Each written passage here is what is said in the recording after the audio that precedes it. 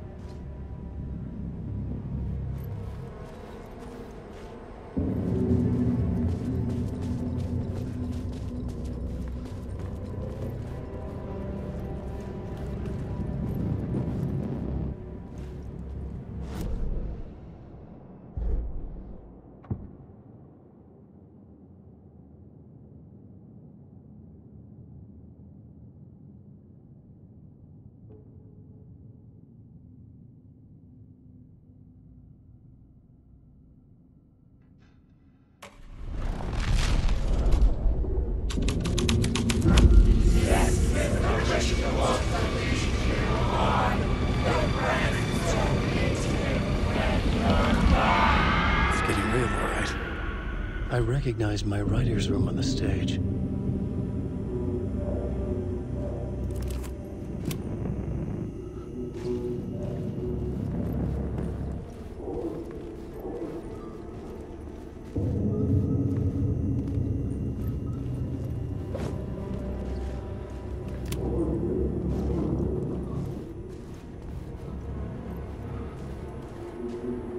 I almost dreaded the ideas this would conjure up.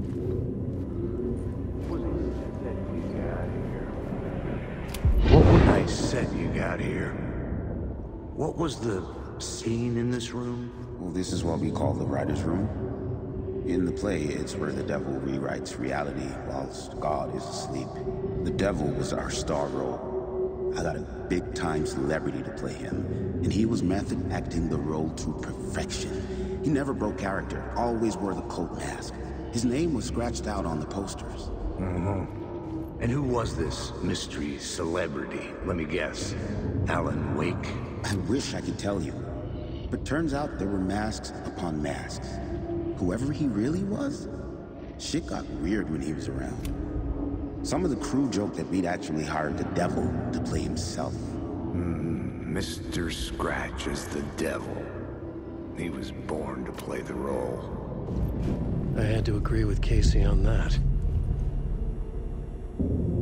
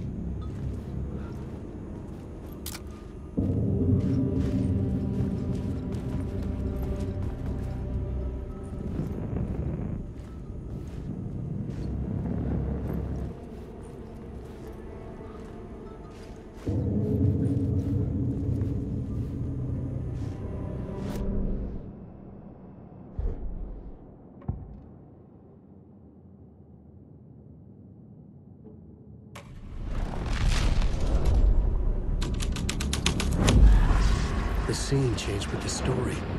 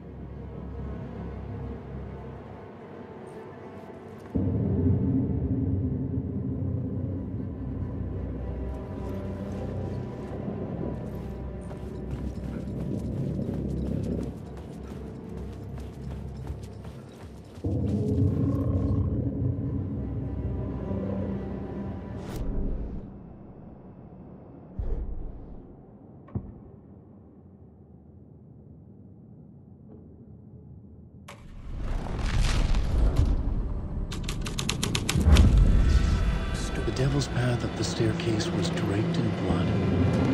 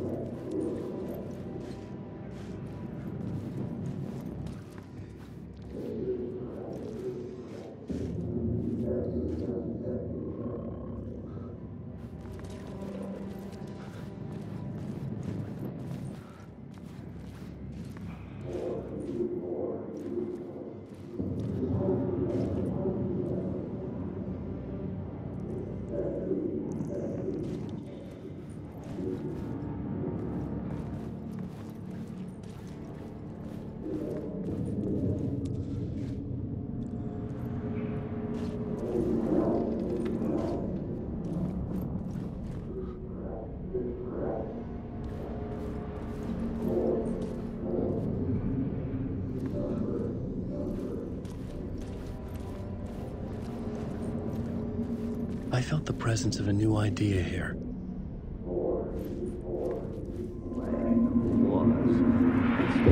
Mr. Scratch, if that's who the actor playing the devil was, had stayed in the hotel. Asking around at reception got me a room number. Hmm. 666. He had requested that room, specifically. The devil had a sense of humor. Or he really didn't. It was funny either way. According to the director, the actor hadn't mingled with the rest of the cast. He had only come out for the play. And always in character.